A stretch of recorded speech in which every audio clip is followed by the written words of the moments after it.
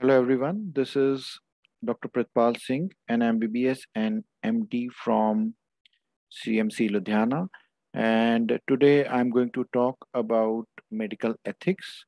Now, medical ethics as such holds its value because we, in our day to day practice, we tend to uh, see patients, we tend to look into the patients, and some of, some of us are involved in clinical trials and practice. So all nonetheless medical ethics does hold a very important part and we should know about the various pillars of medical ethics so that we can have an ethical justification of our behavior while treating patients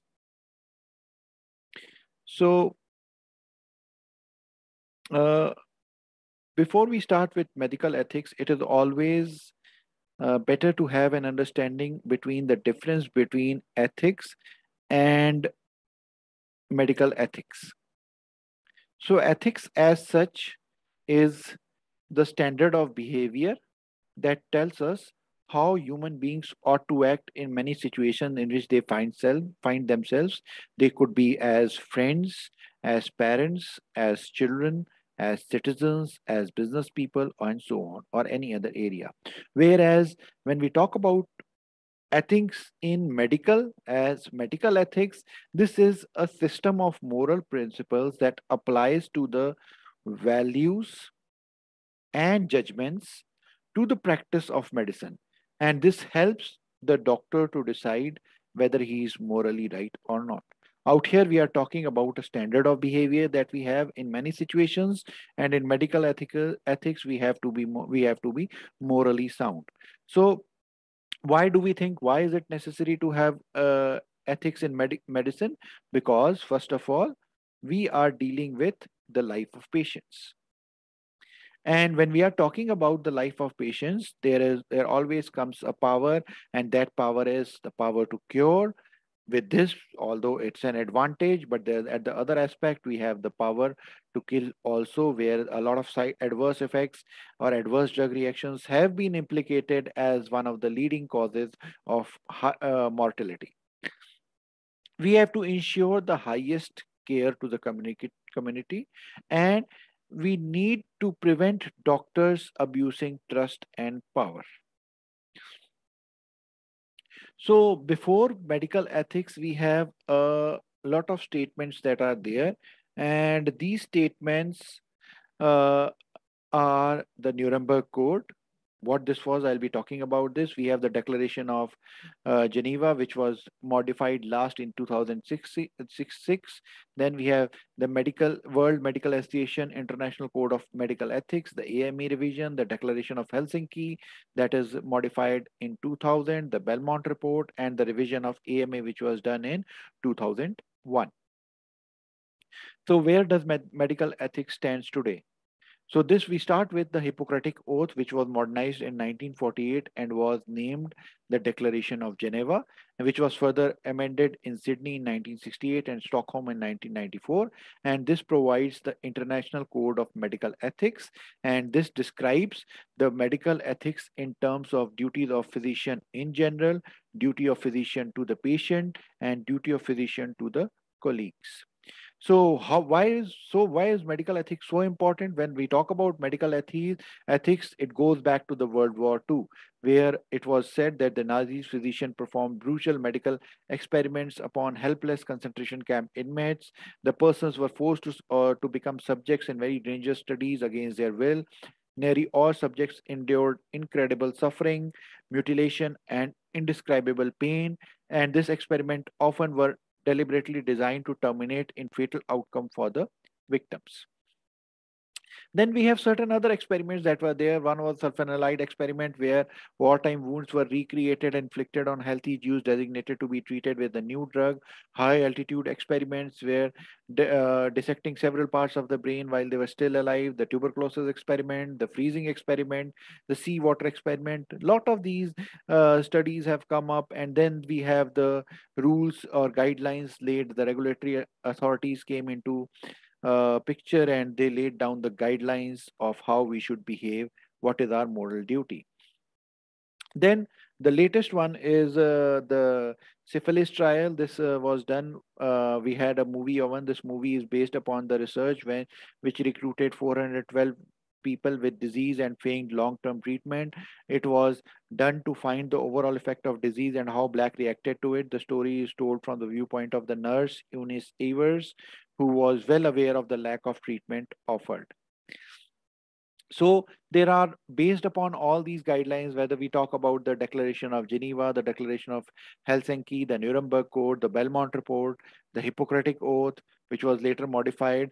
So there are four basic principles on which medical ethics rest. That is autonomy, beneficence, non-maleficence, and justice. And today we'll be talking about all these four of them. So first we start with autonomy. What is an autonomy? Autonomy is the ability of the person to make or exercise a self-determining choices. That means that the person, he should be free to choose and entitled to act on their preferences, provided their decisions and actions do not violate or impinge on the significant moral interest of others. Let's have some examples.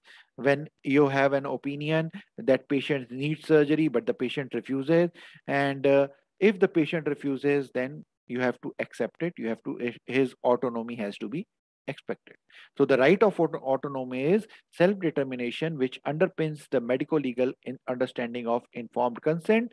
And I have already talked about informed consent in a, one of my previous sessions there are certain uh, things that go against the principle of autonomy like we treat the patient uh, without their consent treating the patient treating the patient treating the patient without giving any all relevant information necessary for making an informed and intelligent choice. That is an informed consent that assumes a vital role telling patient white lies withholding information uh, from patient when they have uh, when they have expressed reflective choice to receive it, forcing information on patient when they have expressed a reflective choice not to receive it, forcing anyone to act against their reasoned moral judgment and or conscience. The next one is non-maleficence, which says do no harm. So that means that the rule says you should not do any harm to anyone. And yeah, this is our stringent duty that we should not injure others. Let's have some common examples of this. Now you have a terminal patient, you have a patient who is terminally and you feel you can no longer offer him anything that could cure him. He heard him that the taking of arsenic uh, may cure him and asked you to give him arsenic. Arsenic is a poison. What do you do in this situation? Obviously, the, uh, the second principle, do no harm, comes into action. Let's have some, uh, some uh, principles that are against the non-maleficence, you try off the leg of a person which is intact. You operate on someone who did not have ap appendicitis. You puncture the heart while, heart while doing a bone marrow aspiration. These are some things that come under non-maleficence. Then the next one is beneficence, that is do good. Give the provision of benefits, preventing and removing harm. So if an act does not bestow benefit or fails to address an imbalance of harm over benefit that could rightly be condemned. So that means you have to always go for a risk benefit assessment. And if the benefits far outweigh the risk, then only you go ahead with the treatment. Otherwise, you do not go ahead with the treatment. Coming with some examples, a patient cuts his finger on a machine and he had a loss of lot of blood you gave him a matched blood transfusion, you stopped the bleeding and repaired the wound on his hand. This is beneficence. Against beneficence, you do not provide the treatment to the patient, you refuse to help an accident victim, you refuse to help a prisoner or a suspect of crime. The next one is justice. So there is no common agreement on what justice is. So there is a term that is retributive justice, which means an eye for an eye. So there could be justice of mercy, justice as harmony in the soul, justice as equality, justice as what is deserved, and justice as justice as love. Practically, justice is as fairness as what is deserved, or let's say equality, distributive justice. All are required to bear an equal share of society's burden and benefits. All patients have a right to your best diagnosis and treatment. Partiality should be avoided. Against justice is when you try to favor one patient over the other a VIP patient comes and you treat that patient and you don't treat the other patient. Senior and experienced doctors treat only private patients. So this is against justice. So when we talk about medical ethics, medical ethics rests on four pillars that is uh, autonomy, beneficence, non-maleficence, and justice. Justice is an eye for an eye. Beneficence is do good. Non-maleficence is do no harm. And autonomy is respects the autonomy autonomy of the patient. So with this i conclude my session on medical ethics. And uh, when we talk about autonomy or we talk about justice or we talk about uh, beneficence or non-maleficence these are these can be taken these would be uh, there as separate sessions. And if there are any queries on this particular session i would be more than happy to answer them. Uh, thank you so much for your patient listening and have a good day ahead